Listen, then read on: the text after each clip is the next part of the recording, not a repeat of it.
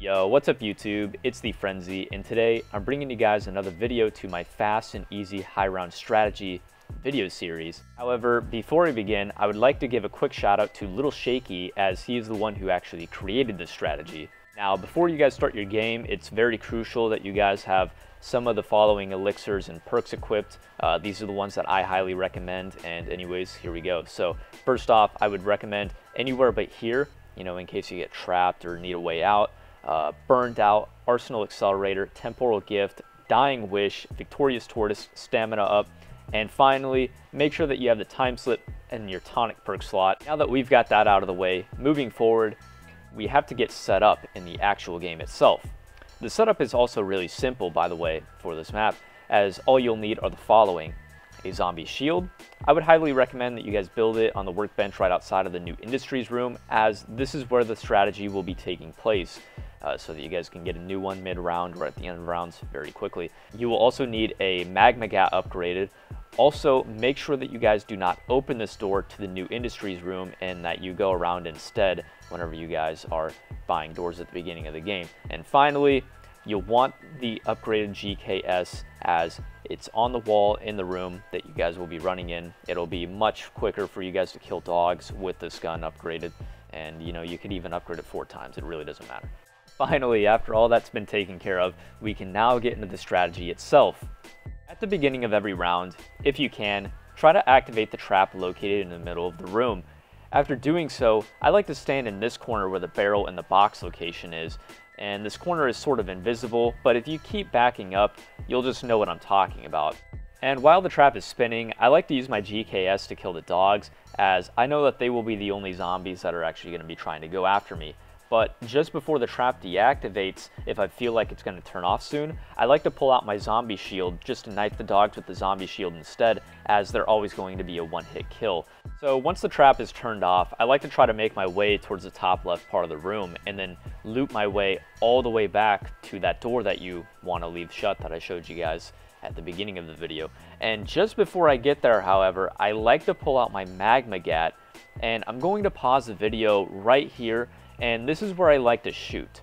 There's this little dark spot on the ground, and I think it's the perfect spot. The zombies will proceed to run into that spot, get burned, then I quickly sprint over to the trap and activate it again. But once I get to that spot where I can activate the trap again, I like to pull out my zombie shield just in case there are any dogs behind me or anything that I can possibly earn a down from. And what I do is I just, you know, again, knife the dogs with the shield as it's always a one-hit kill on them.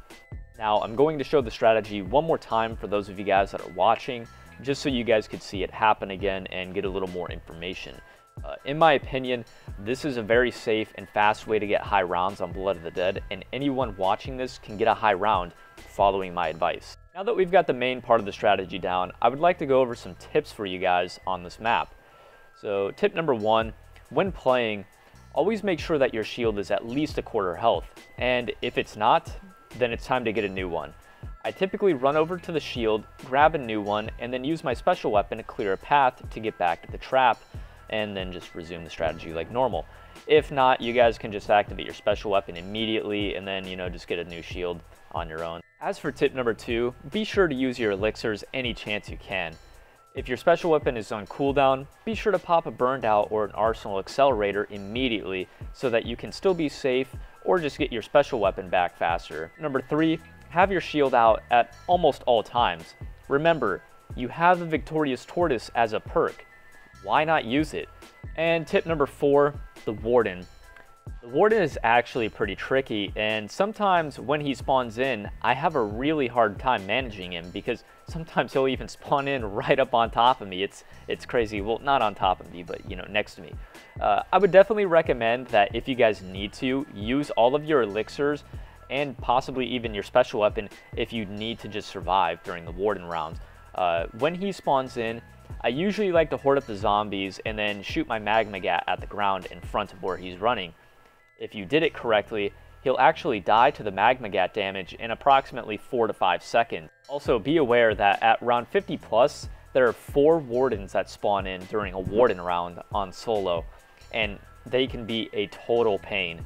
The only times I actually really feel threatened playing Blood of the Dead are when my special weapon is on cooldown or when the Warden actually spawns in.